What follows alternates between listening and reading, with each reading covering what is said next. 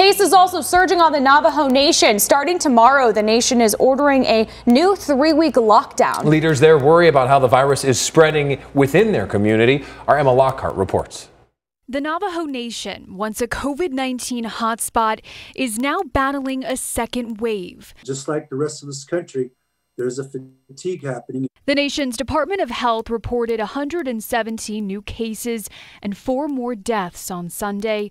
Leaders now warning the virus is spreading uncontrollably. The contact tracers that we have have indicated that a lot of the uh, exposure and the cases that we have here on the Navajo Nation is due to uh, social gatherings, family gatherings. To help curb the virus, Navajo Nation President Jonathan Nez is now ordering a three week lockdown starting Monday. We're in a war and, and we have won battles, and I know we can overcome this, uh, this monster. We can win this war.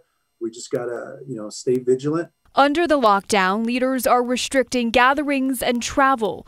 Only essential businesses like gas stations, grocery stores, and restaurants will stay open. I know it's going to be hard and difficult as we go into the holiday seasons, Thanksgiving and Christmas coming up, but uh, these types of um, very tough uh, public health emergency orders have worked before. Earlier this year, the virus ripped through the reservation, so far killing more than 600 people. We managed to uh, bring those numbers down, and we have managed to test half of our population. Now, as the virus surges once again, President Nez says he hopes their hospital system can handle it.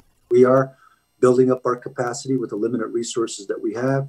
We also even uh, reactivated our alternative care sites for isolation and quarantine so that it can free up some uh, emergency beds. In Phoenix, Emma Lockhart for Arizona's Family.